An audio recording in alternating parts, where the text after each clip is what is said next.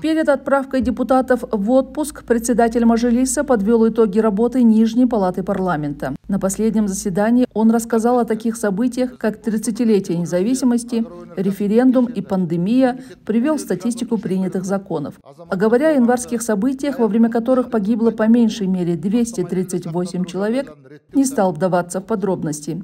Зато отметил, что гордится коллегами и не забыл похвалить президента.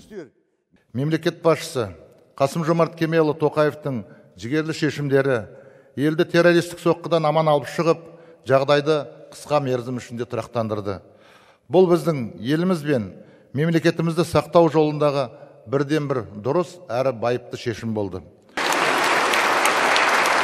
Последнее заседание сессии длилось недолго. Спикер Сената не сказал ни слова. После исполнения гимна депутаты поспешили к выходу.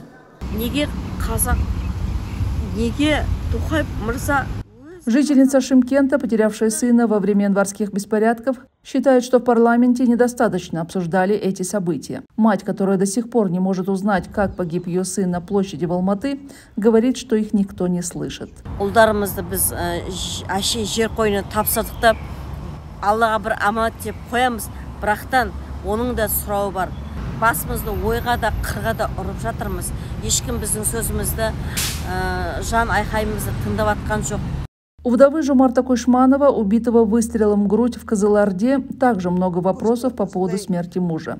По словам женщины, парламент не захотел самостоятельно расследовать январские события. сол бізде ойланып жатырмыз неге осы кісілер депутаттар осы іске араласпай жатыр деп жалпы алты айдан бері созып жатқанына қарағанда менің өзім ойымша бір үлкен жақтан жоғары жақтан бір үлкен шешімді я болмаса бұйрықты не- э, күтіп отырған сияқты халықты ашындырып жатыр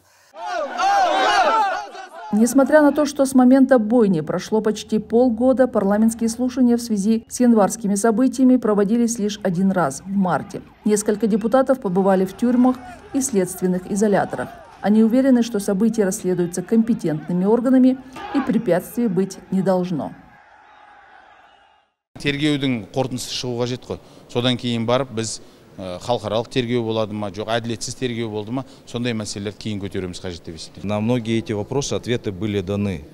Буквально недавно выступали по этим вопросам и МВД, и прокуратура, они давали ответы. Я пока, пока этого хватает. енді бәрі тергеудің ә, қазіргі жүріп жатқан ә, кейбіреулері ә, засекреченный өзіңіз білесіз Ә, әлі де көтерілетін мәселе бұл Когда именно будут подниматься эти вопросы в стенах парламента, неизвестно. Депутаты вернутся к работе через два месяца. В МВД ранее сообщали, что президент поручил завершить расследование до сентября.